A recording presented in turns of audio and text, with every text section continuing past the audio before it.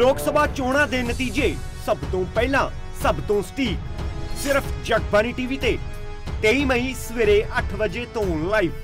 ਮੈਂ ਜੀ ਗੁਰੂ ਮਹਾਰਾਜ ਦਾ ਸ਼ੁਕਰਾਨਾ ਕਰਨਾ ਆ ਕਿ ਜਿਹੜੀ ਸਾਡੇ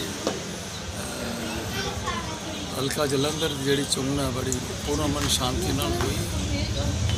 ਇਸ ਕਰਕੇ ਮਹਾਰਾਜ ਦਾ ਸ਼ੁਕਰਾਨਾ ਕਰਨਾ ਹੈ ਸਰ ਐਗਜ਼ੈਕਟ ਨੂੰ ਤੁਸੀਂ ਕਿਵੇਂ ਮੰਨਦੇ ਹੋ? ਇਹ ਤਾਂ ਹੁਣ ਵਾਹਿਗੁਰੂ ਕੱਲ ਨੂੰ ਦੱਸੂਗਾ ਐਗਜ਼ੈਕਟ ਬੋਲ ਠੀਕ ਆ ਕਿ ਗਲਤ ਆ।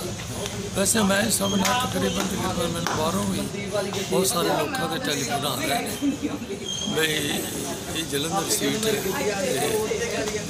ਕਲੀਅਰ ਹੀ ਹੋਈ ਭਾਰਤੀ ਜਨਤਾ ਪਾਰਟੀ ਔਰ ਸ਼੍ਰੋਮਣੀ ਅਕਾਲੀ ਦਲ ਦੇ ਖਾਤੇ 'ਚ ਜਾਏਗੀ। ਸਰ ਐਗਡੀਐਮ ਅਕਾਲੀ ਭਾਜਪਾ ਨੂੰ ਵੀ ਉਹਦੇ ਵਿੱਚ ਆਪਣੀ ਮੈਂ ਸਮਝਣਾ ਕਿ ਇਹ ਨਹੀਂ ਹੋਰ ਵੀ ਹੈਰਾਨੀਜਨਕ ਨਤੀਜੇ ਨਿਕਲਣਗੇ।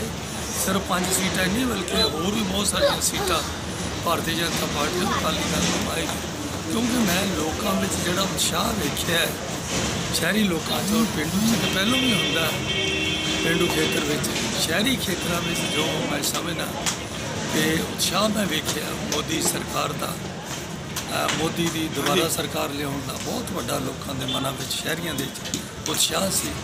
ਔਰ ਨਾਲ ਹੀ ਪਿੰਡਾਂ ਵਿੱਚ ਵੀ, ਸ਼ਹਿਰਾਂ ਵਿੱਚ ਵੀ ਖਾਸ ਕਰਕੇ ਪਿੰਡਾਂ ਵਿੱਚ। ਕੈਪਟਨ ਅਮਰਿੰਦਰ ਸਿੰਘ ਦੀ ਕਿ ਸਰਕਾਰ ਦੇ ਖਿਲਾਫ ਗੁੱਸਾ ਵੀ ਸੀ।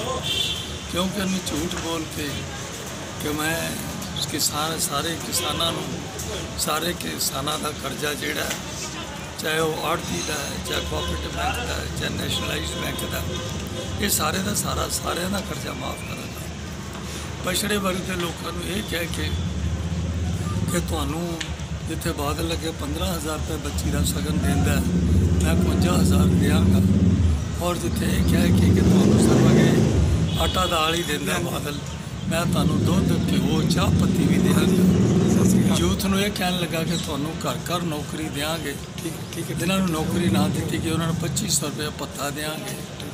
ਔਰ ਬਜ਼ੁਰਗਾਂ ਨੂੰ ਇਹ ਕਹਾਂਗੇ ਕਿ ਤੁਹਾਨੂੰ ਹੁਣ ਤਾਂ 5-600 500 ਰੁਪਏ ਮਿਲਦਾ। ਹੈ ਮੈਂ ਤੁਹਾਨੂੰ 2500 ਰੁਪਏ ਭੱਤਾ ਦਿਆਂਗਾ, ਪੈਨਸ਼ਨ ਦਿਆਂਗਾ। ਇਸ ਲਈ ਸਾਰੇ ਵਰਗਾਂ ਨੂੰ ਉਹਨੇ ਗਮਰਾਹ ਕੀਤਾ ਔਰ ਕੋਈ ਕੰਮ ਵੀ ਨਹੀਂ ਉਹਨੇ ਚਾੜਿਆ ਸਿਰੇ ਨਹੀਂ ਚਾੜਿਆ ਬਲਕਿ ਤੋਰਿਆ ਹੀ ਨਹੀਂ, ਬਲਕਿ ਸਾਰੇ ਕੰਮਾਂ 'ਚੋਂ ਫੇਲ ਹੋਇਆ। ਇਸ ਕਰਕੇ ਲੋਕਾਂ ਦੇ ਮਨਾਂ ਵਿੱਚ ਇਹ ਲੋਕਲ ਤੌਰ ਤੇ ਵੀ ਪੰਜਾਬ ਸਰਕਾਰ ਦੇ ਖਿਲਾਫ ਗੁੱਸਾ ਸੀ। ਤੋ ਇਸ ਕਰਕੇ ਮੈਂ ਸਮਝਣਾ ਕਿ ਜਲੰਧਰ ਦੀ ਸੀਟ ਔਰ ਪੰਜਾਬ ਦੀਆਂ ਹੋਰ ਵੀ ਬਹੁਤ ਸਾਰੀਆਂ ਸੀਟਾਂ ਸ਼੍ਰੋਮਣੀ ਅਕਾਲੀ ਦਲ ਔਰ ਭਾਰਤੀ ਜਨਤਾ ਪਾਰਟੀ ਦੇ ਹਿੱਸੇ ਜਾਣਗੇ। ਤਾਂ ਗਲਤ ਕਹਿੰਦਾ, ਦਰਅਸਲ ਉਹ ਫਰਸਟ੍ਰੇਟਡ ਆ। ਉਹ ਫਰਸਟ੍ਰੇਟਡ ਹੋਣ ਕਰਕੇ ਉਹ ਕਾਂਗਰਸ ਨਾਲ ਵੀ ਲੜੀ ਜਾਂਦਾ, ਸਾਡੇ ਖਿਲਾਫ ਵੀ ਕਹੀ ਜਾਂਦਾ, ਕਾਂਗਰਸ ਦੇ ਖਿਲਾਫ ਵੀ ਕਹੀ ਇਸ ਕਰਕੇ ਉਹਦੀ ਆਪਣੀ, ਮੈਂ ਨਹੀਂ ਉਹਦੇ ਬਾਰੇ ਕੁਝ ਕਹਿਣਾ ਚਾਹੁੰਦਾ।